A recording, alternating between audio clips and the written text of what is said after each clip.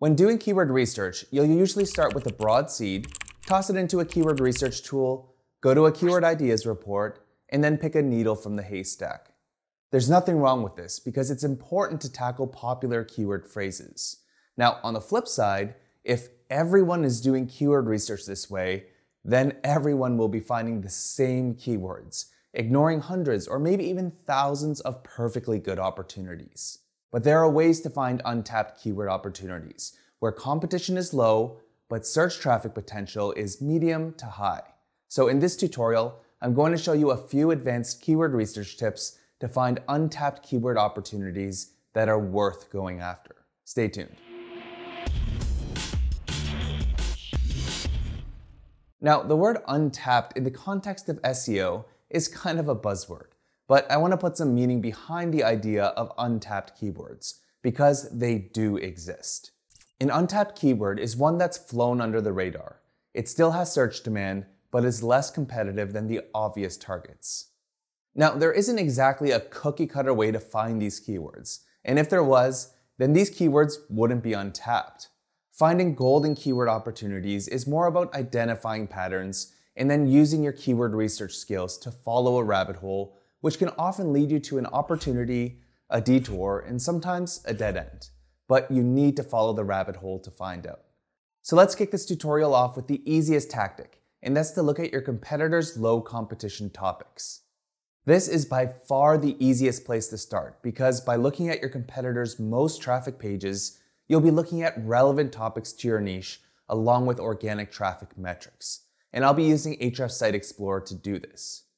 So to get started, enter one of your organic search competitors' domains. I'll go with nerdwallet.com. Next, go to the top pages report, which shows you the pages that send the site the most search traffic. Next, let's set a keyword difficulty filter with a maximum value of something low like 20, considering the personal finance niche is pretty competitive. Now, before I apply the filter, it's important to note that the numbers in the data table will change, meaning once I hit apply, things like traffic, value, and keywords will all decrease. And that's because the results will change to reflect the set filters. In this case, pages that have keyword rankings with difficulty scores of 20 or less. Let's hit apply. Now, when you skim through this list, you'll want to use some common sense and compare the URL slugs with the top keyword. And what you're looking for is to see if the top keyword is the one that the page is actually targeting, which you can kind of tell from the URL slugs. For example, this URL is clearly targeting Webull versus Robinhood, and that's also the top keyword. So this is potentially a lower competition topic that gets a decent amount of search traffic. Now, to see the total global traffic to this page, just click the caret and you'll see that it gets a similar amount of monthly search visits when compared to the filtered amount of search traffic. But the fun doesn't have to stop here. After you've gone through your first competitor's top pages report, go to the competing domains report to find other competitors with similar keyword rankings. Then just rinse and repeat as many times as you like. The next method is to identify unique keyword modifiers. A modifier is an add-on to a base keyword. For example, if your head term is credit cards, then modifiers could be top, best, the current year, or any combination. Now, the type of modifiers we're looking for are ones that would alter the search results. For example, if you search for best credit cards and best credit cards 2021, the results would be near identical. On the other hand, if you compare the search results for best rap albums 2020 and best rap albums 2000, you'll have completely different search results because the modifier changes the searcher's expectations. So if we go back to the top pages report from NerdWallet, where the KD filter is set to 20, you'll see that this page is on Colorado first-time homebuyer programs. The top keyword seems like the one the page is targeting, and if I click the caret, you'll see the total global traffic potential isn't far off from the filtered traffic number. Now, if you use some common sense, then you'll know that the keyword first-time homebuyer is going to be more competitive than first time homebuyer Colorado. And you'll also know that first time homebuyer programs will generally be slightly different from state to state. So in this case, we've identified a modifier to a competitive phrase. Now it's time to follow the rabbit hole. So I'll go to Google and search for 50 US states copy and paste. Let's click through to the first result and click Copy List to Clipboard.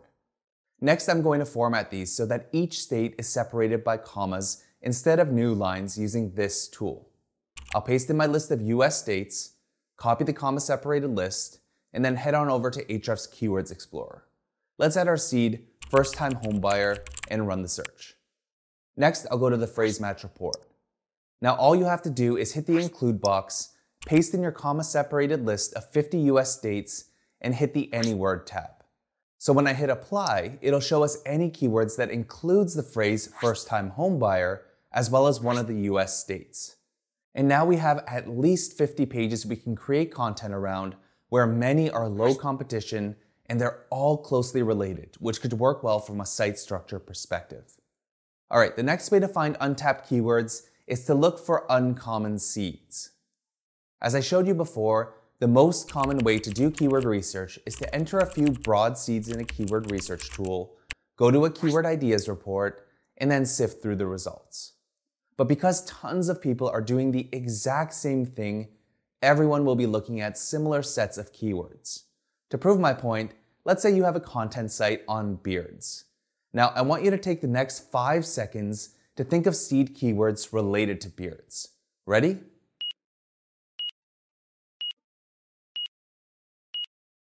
So how many did you come up with? I came up with three. Beard, beards, and mustache. And I'm guessing there's some overlap between your list and mine. So to separate yourself from others, you need to find seeds that are lesser known but still popular. To do that, go to Ahrefs Site Explorer and enter a competitor's domain. I'll go with beardaholic.com. Next, go to version 2 of the Organic Keywords Report, which shows you the site's keyword rankings. Now let's set a keyword filter to exclude common seeds. So I'll hit the keywords filter and set the rules to doesn't contain beard, and then I'll set a second rule to doesn't contain mustache. Let's hit apply. And now you'll see some great topics like best double trimmer, goatee styles, and mutton chops to name a few. Now we're not looking for keyword ideas here, we're looking for seeds. So that would be keywords like stubble, goatee, mutton chops, laser comb, and monkey tail. So let's go back to Keywords Explorer and run a new search. Then we'll hit the phrase match report.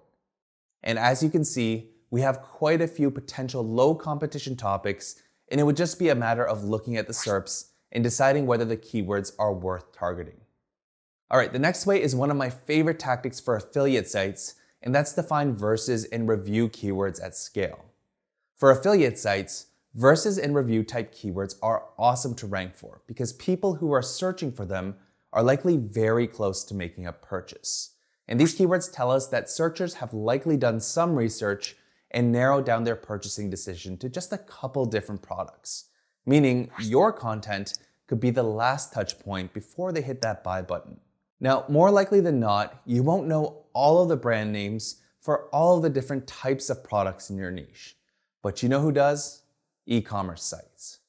Most e-commerce search and category pages will have a brand facet where they list all or some of the more popular brands within their store. So let's say we have a site on baby products. I'll start by heading over to an e-commerce store like strolleria.com, which sells baby strollers. Next, I'll click on the Shop Brands menu item. And seeing as they're all listed here, I'll scrape the list using a Chrome extension called Scraper.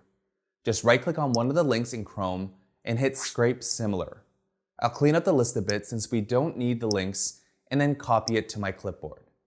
Next, let's head on over to Keywords Explorer and paste these brand names into the search box. And then let's head on over to the phrase match report. Now, since we're looking for versus and review keywords, I'll hit the include filter and type in versus and review with an asterisk at the end, which will act as a wildcard catching words like reviews, reviewing, etc. Finally, I'll hit the Any Word tab and hit Apply. Now there's going to be some irrelevant keywords in here because brand names are often popular words that hold different meanings like Apple, Amazon, and Coach. In our case, Bob seems to be producing some unwanted keywords. So let's hit the exclude button and add Bob. And now you'll see some great keywords like Nuna RAVA review, UPPAbaby Cruz versus Vista, and Britax Marathon Click Tight reviews, all of which seem to have barely any competition from a link's perspective. Now, these are just a few keyword research tactics that I've used to find untapped keyword ideas. But the one thing I want you to take away from this video is that when you're doing keyword research, or any SEO tactic for that matter, your best tool is going to be your ability to recognize patterns within data. And some creativity won't hurt. So go and try these tactics out for your site, try and go beyond what I've taught here, and if you enjoyed this video, make sure to like, share, and subscribe for more actionable SEO and marketing tutorials. I'll see you in the next one.